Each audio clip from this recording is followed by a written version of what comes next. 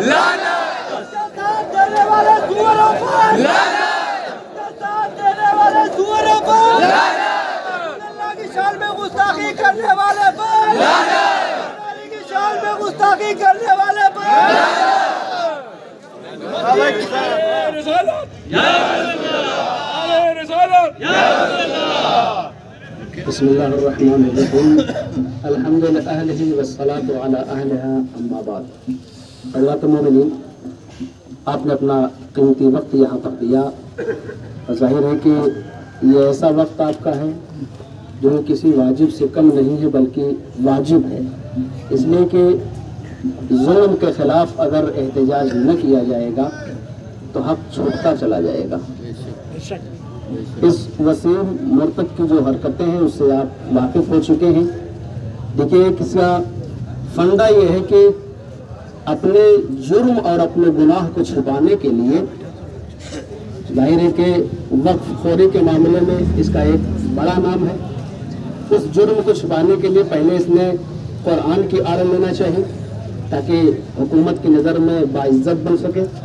جب اس سے کام نہیں چل سکا تو اس نے، میں سمجھتا ہوں کہ میری نظر میں کم از کم اتنا کھل کر کسی نے آج تک نبی کی گستاخی نہیں کی تھی۔ جس نے اس ملون نے جس انداز میں اس نے یہ گستاخی کیا ہے کہ اس کو منہ توڑ جواب دینا چاہیے اور اس پروگرام کو جو کہ احتجاج کی شکل میں ہے اور اچھے ڈھنگ سے ہونا چاہیے تھا، لیکن بہرحال جو بھی ہو رہا ہے، بہتر ہو رہا ہے۔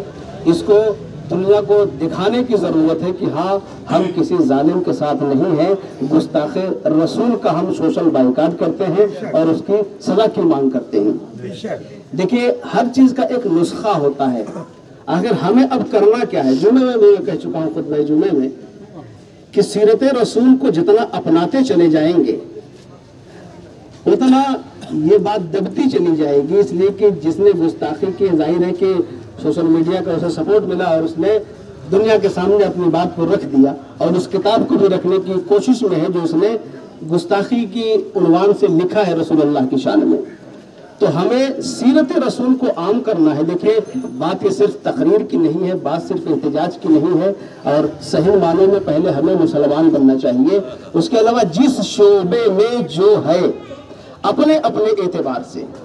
اگر کوئی نیوز بناتا ہے، کوئی پیپر میں نوکری کرتا ہے، قلم چلاتا ہے، تو کم از کم ادب نامے میں یا ہندوستان میں دینک جاگرن میں، جس پیپر سے جو متعلق ہو، وہ کردار رسول کے سلسلے میں کالم لکھنا شروع کرے خاکہ نگاری کرنا شروع کرے، تاکہ کم از کم سیرت رسول کو عام کیا جائے۔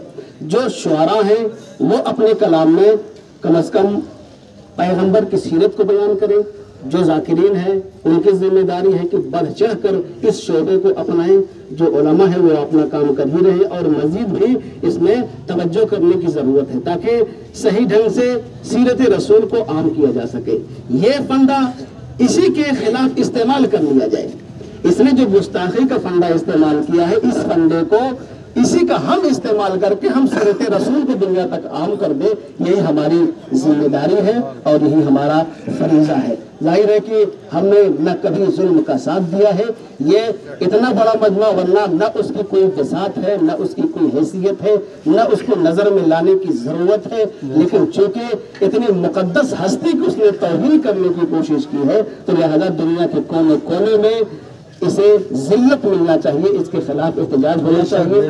ایک نقطہ جو رہ گیا ہے کسی نے بھی اس کو ووٹ نہیں کیا ہے کہ موجودہ سرکار نے اس کو وائی پلس سیکیورٹی دی ہے۔ ہاں یہ چیز خود میں جمعہ میں میں کہنے والا تھا لیکن وقت قلت سے نہیں کہہ چکا۔ برادر عادل نے جو بات کہی کہ جس طرح سے اس کو زیڈ پلس سیکورٹی ملی ہوئی ہے تتکال واپس۔ پہلی بات تو یہ ہے کہ فوراً وہ سیکورٹی اس سے چھینی جائے۔ بے شک۔ اگر خود کچھ نہیں کر سکتے تو جنتا کے حوالے کر دے، اس کو سبق سکھا دے گی سیکورٹی چھینی جائے اس کے علاوہ ایک سوتنتر راشٹر میں ہم زندگی گزار رہے ہیں ایک سیکولر ملک میں ہم رہتے ہیں جس میں ہر انسان کو اپنا حق لینے کا حق حاصل ہے اور اپنے مذہب کے مطابق سے زندگی گزارنے کا حق حاصل ہے۔ ہم اس سوتی ہوئی سرکار کو جگانا چاہتے ہیں کہ کئی روز گزر چکے ہیں ابھی تک کوئی ایکشن نہیں لیا گیا ہے۔ تو لہٰذا ہم ہر پولیس اسٹیشن پر جو بھی جس جگہ پر ہے، اس کے خلاف ایف آئی آر درج کرائیں گے تاکہ یہ بات ہائی کمان تک پہنچے اور اسے ارسٹ کر کے ہندوستانی بھارت کے سنویدھان کے مطابق جو بھی ہمارا سنویدھان کہے، اسے سخت سے سخت ترین سزا دی جائے اور جو کتاب اس نے لوگوں کو گمراہ کرنے کے لیے لکھی ہے، اسے فوراً لے کر درجہ بند کی جائے نظریات کی جائے، اس کو ختم کی جائے۔ ہم اسی کے ساتھ بات کو اپنی ختم کرتے ہیں۔ آپ حضرات برات کا ایک نعرہ دلا گئے اور یہاں سے اس کے بعد ایف آئی آر درج کرانی ہے، جاپن پھینکنا ہے اور اس کے بعد یہ بات آگے تک پہنچے گی اور اسے سزا ملے گی انشاءاللہ۔ نعرہ تکبیر! نعرہ رسالت! نعرہ